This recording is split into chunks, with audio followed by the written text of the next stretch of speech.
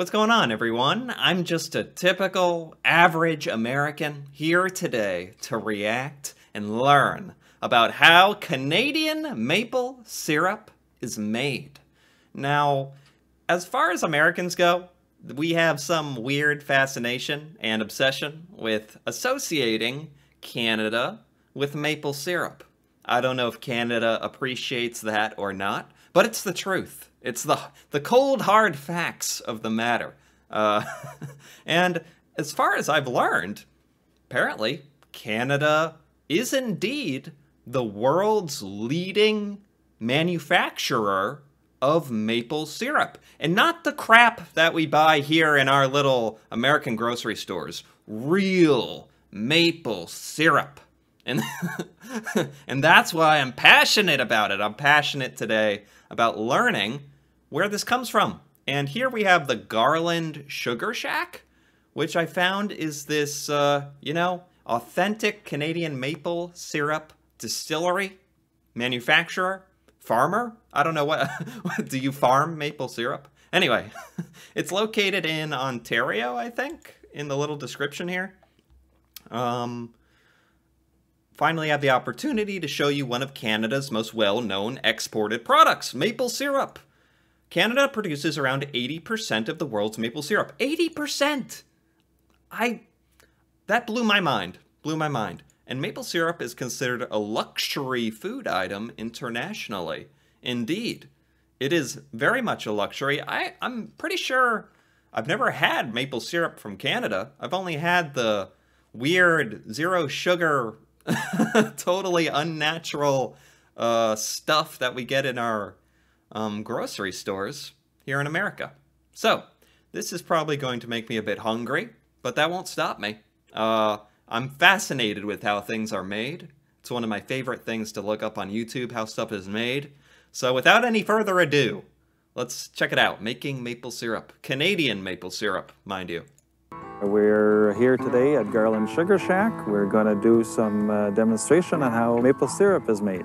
Yes. Maple syrup has been a uh, childhood dream and adventure for me. Okay, I gotta pause it. I'm sorry, but these containers are next level. Um, even this container here. Oh, let me rewind it a little bit. This guy, this jug he's holding. And these, don't get me started on these. This is like, whoa, what's going on? What are we celebrating here? this is, these are fancy bottles. Are these common in Canada? Because we, we don't get bottles like this. This is how you know it's the good stuff. For me, especially. Uh, I started making maple syrup. I was 13 years old, and it grew part of the uh, family farm. Behind us here, we have the first building that I started making maple syrup in. This was one of my grandfather's first buildings on the farm. Wow. Uh, century farm now, I may add. I'm third generation. Wow. Hopefully you'll enjoy seeing how maple syrup is made today. I will. I will. I am I'm at least familiar with this aspect of it. That you are drilling into a tree, you got to get the sap out of the tree into a bucket or something or something. Oh yeah, that thing that you hammer into it. It's like a little spout. So the first step to making maple syrup is tapping the trees. This Right. is the traditional way to do it with a spile and a bucket. Tapping. Wow. In 2002, we got around to having 850 buckets, so that was Oh. getting a little time consuming going to collect the buckets once or twice a day. And so we decided to modernize our operation and uh, install pipeline and uh, vacuum systems. Oh, okay. You can do it with the buckets, the old ye oldie way. God, eight hundred buckets, and a day? Can you extract the syrup sap, um, more than once a day from a tree? Surely it has to. You got to give it a chance to regenerate or something. Give the poor tree a break. I'm shocked it comes out so easily. These blue spiles here, they're actually called uh, tree saver spiles. The hole is much smaller than a traditional spile. Uh, the tree ends up healing that same year Oh, uh, instead of scarring over the years and causing damage to the trees. So cool. this is a much friendlier way to tap the trees. Oh, here we go. Technology. Oh, So wow. what you're looking at right now is a pipeline system. Uh, Wow. We currently have 4,200 taps. We're going to be expanding to 10,000 taps. what? All these pipes lead up to a main line, which brings the sap down to a storage tank. 10,000 trees? That's amazing. How do you. That must take so much time. I can see why this is a family business, full time job. So the main lines I was showing you guys earlier all end up in this storage container here. Uh, we have a storage tank in here, our vacuum system, and an extractor. So the vacuum comes in through this PVC pipe here down to the extractor. Uh, this basically just keeps all the vacuum contained and uh, pulls it through the main lines that we were showing you guys earlier. So the sap comes in through the main lines, fills these guys up, and then dumps it. Cool. Well, can you like uh, get a little crazy and open this up and eat or or taste that pure stuff right there? Is that like that's nature's maple syrup right there, just pure from the tree? What would that taste like? Oh, look at it. You could bathe in it. No, no, no. We can't be doing that.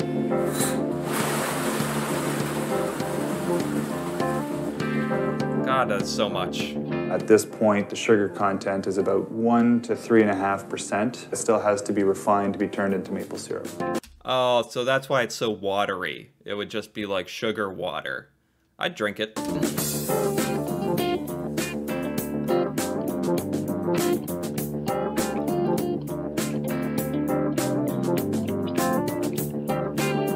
Okay, transporting the goods. Wonder how many gallons that is. Can they do this? How often can they do this? Um, I've always wondered because it seems like you don't get to create much syrup, especially if you're um, condensing the raw sap even further. You're not yielding much. So they have to do this quite often, right?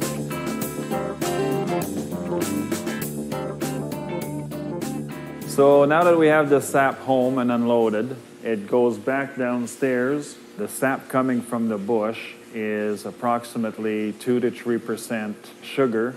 Okay. And what we like to do with the reverse osmosis is bring the sugar level up to 8%. So that takes a considerable amount of water out of the system, so there's a lot less time to boil. reverse osmosis. Is it? Should I even bother looking this up? Is this something you can explain to a simple American quickly? Okay, process where you demineralize or deionize water by pushing it under pressure through a semi-permeable. Okay, so you're basically forcing the sap. Whoops, where's my little flowchart? Oh, here it is. Let me make it bigger. You force this is we're going to pretend this is sap over here. You force it through a, a membrane, and a lot of the um, s- thick, sappy, sugary stuff gets stuck on one side, and just the plain old water gets taken out the other side. I'm assuming something like that. Don't quote me. Just a quick explanation of how the reverse osmosis works. There's a feed pump that pushes the sap of course he's gonna explain it as soon as I did my hacky little attempt. through two sets of filters to have it as clean as possible when it goes into what we call the membrane. The uh, sap is pushed through the membrane at over 400 pounds per square inch, so it's very high pressure. On average, it takes about uh, 40 liters of sap to make one liter of maple syrup. See, I just don't get that. That is such a small yield. You would have to get outrageous amounts of sap to make enough maple syrup for Canada and the rest of the world. If they're supplying 80% of the world's maple syrup, and um, I think what's confused me is that I can go to the grocery store and get it. It's not like there's a shortage. But now I'm thinking, hey, what I'm going and getting is probably this synthetic crap, not the good maple syrup from Canada. That's probably more expensive and more scarce. Wow, never thought of it that way. And this is where the reverse osmosis comes in, uh, very handy. Uh, last year's numbers, we've collected approximately 160,000 liters of sap to make 4,000 liters of syrup. So there's a lot of evaporation there was saved by cutting out a good part of the evaporation process. 4,000 liters a year? How much is an average bottle? You could have like a liter of maple syrup, right, in a bottle. That's not crazy, right? you can have like a gallon, is uh, if I'm correctly remembering, depending on how nuts for syrup you are. So that's 4,000 bottles a year? That doesn't sound like much. Are there a lot of these types of maple syrup factories in Canada? We keep the pure water that we remove from the sap and we use it to clean because that water is, uh, how can I say it, perfect water, clear, clean. There are no minerals. Uh, there's nothing in it. It's just a liquid. Water cool. needs minerals, so it's like a magnet. When we use it to clean, it's so much better than tap water. Huh. It, it cleans all our facility, uh, all our equipment, a lot. I never thought of that. Could you sell this water? This magic water? It's like super water for cleaning. Can you sell that? Can you buy that? Better than regular water. Interesting.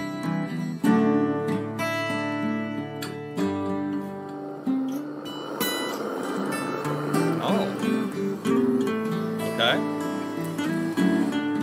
Furnace. Looks cozy.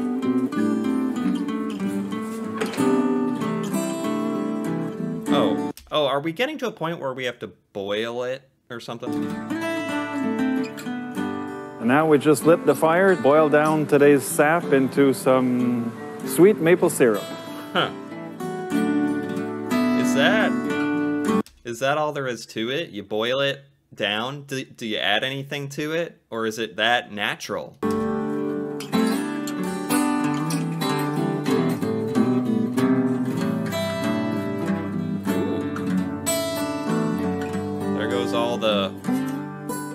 Not syrup.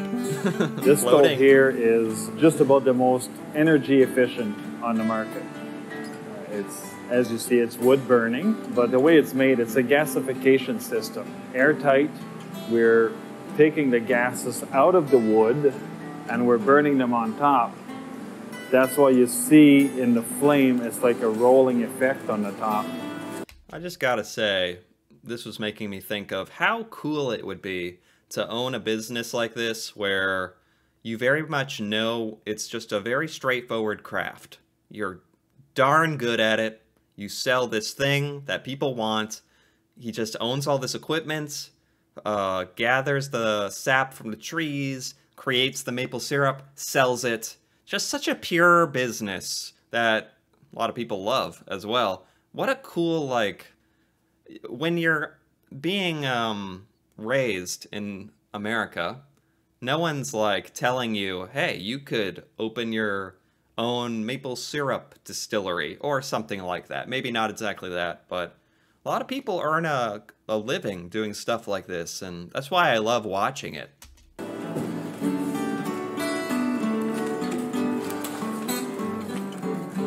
So instead of the conventional evaporator, you used to have to put some wood in every 10 minutes to be very efficient. In hmm. this case, as the gases burn, we watch our chimney temperature.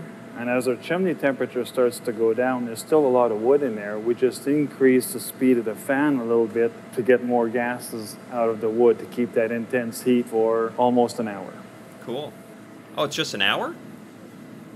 An hour of boiling? The sap, as it comes from the tank upstairs, is first circulated into the hood where it's preheated before it hits the pans so that we're not putting cold sap in the pans to cool things down. So as we're boiling along, the sap moves down these three pans, and as it moves down, more and more of the water gets taken out of the sap. Okay. And as it goes more towards the front, it turns more into syrup. Okay. I am curious, is this going to be the finished product right here? That would really blow my mind. If they're sell if it's that close to the tree sap. Oh, we did reverse osmosis and we boiled it a few times. And this is maple syrup. Is that all there is? Do they have to add sugar? Or, I don't know. As the density gets higher, the automatic draw off is set at a certain level and it pulls a batch of syrup out when it's ready. Oh, there it is.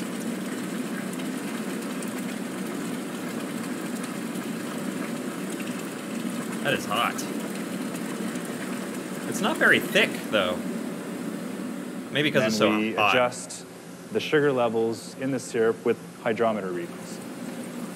Okay.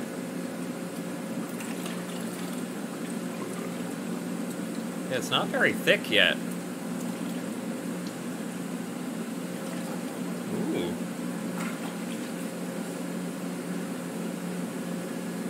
The art of maple I don't know syrup. if you can see, but the red line is right level with the top of the syrup, or just come out a little bit.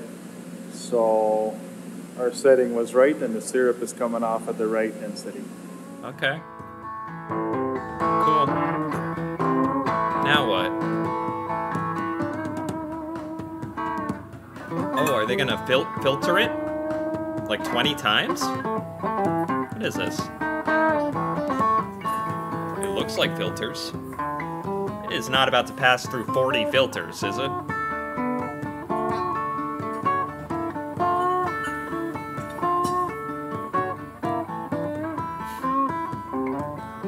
I'm on the edge of my seat. What's about to happen? What is this? So now that the maple syrup is ready, it's about to be filtered. Okay. The syrup passes through this press filter here. It takes out any kind of natural sands in the maple syrup and then passes it along to the bottling unit. Oh, wow. So it is going to be bottled after this. They're just making sure there's no crap in it. no weird tree stuff still in it. But then it's going for bottling. This is all natural maple syrup.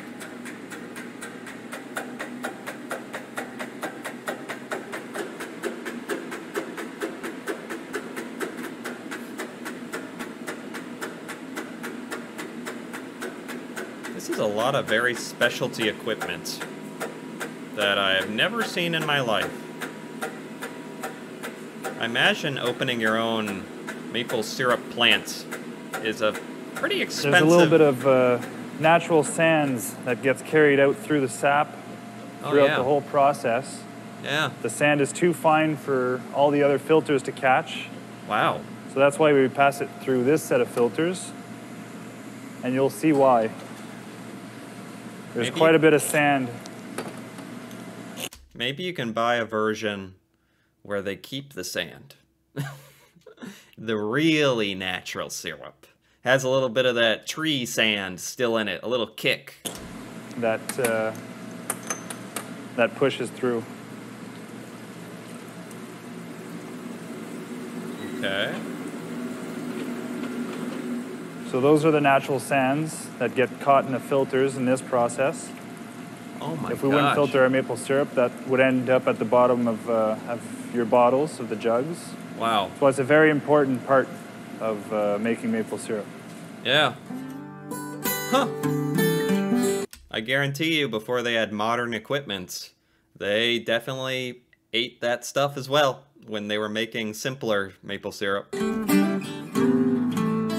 This is what I'm talking about, these jugs. These are the most Canadian maple syrup jugs I've ever seen in my life. uh, you would be hard, you're actually kind of hard pressed to find jugs like this in America, although we do have them.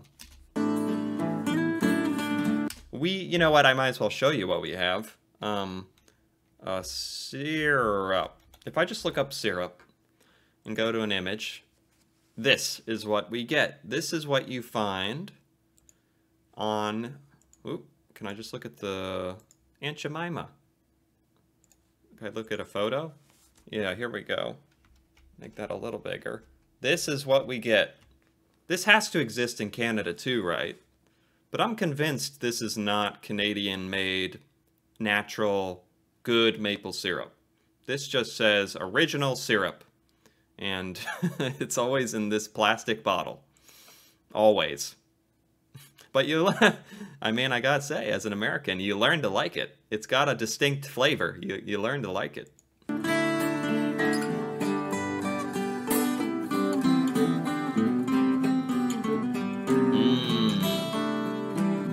Mm. Liquid gold, as they say. So this concludes our day at Garland Sugar Shack. I hope you enjoyed watching. Here in my hands, we hold the final product. Oh. Some uh, good sweet maple syrup. It's smaller than I thought. How much is that? That's is that a liter? It's not quite a liter. Gosh, I can't picture a liter in my mind. I only know uh, quarts and gallons and cups. You know, weird imperial units like that. And we also do a multitude of other products like maple butter, sugar, candies. If you're ever in the area, stop by and see us. Maple butter. Maple butter. What is that? You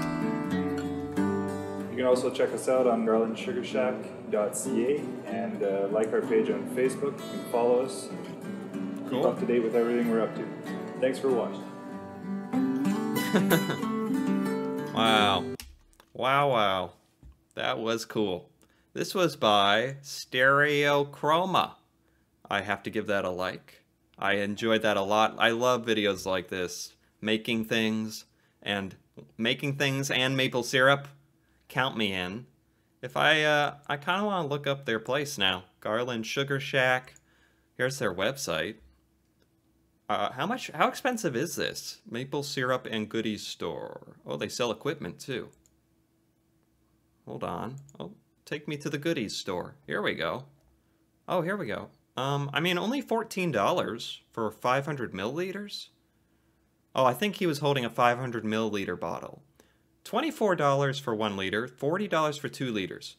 Twenty-four dollars for one liter. Here's the funny thing the weird American syrup bottle that I showed you, you can buy that for like a dollar. One. One singular dollar. But I'd be willing to pay 14 for good syrup. At least to try it, you know? Wow, there's a lot of can- maple candy, maple butter, maple taffy, maple wine. Okay, this is getting out of hand. Uh, okay, this is what I came for, though. How to make maple syrup in Canada. Very interesting. Exactly what I was hoping for. Loved it. Fascinating. It sure comes across as a very natural um, creation. They're just really refining what's straight out of the tree. And then you're eating that. And that's it. Um, pretty sure I've never had it. feel like that'd be uh, an epiphany, a moment. Be like, oh, this is the flavor of maple right here. And then I'd have to collect myself again, come back to earth. anyway, if you enjoyed this video, if you enjoyed this reaction, feel free to give it a like or leave a comment. And if you're interested in more videos like this, me reacting to Canada, Canadian culture, things in Canada, feel free to subscribe for more. And until then, thanks for watching, and see you next time.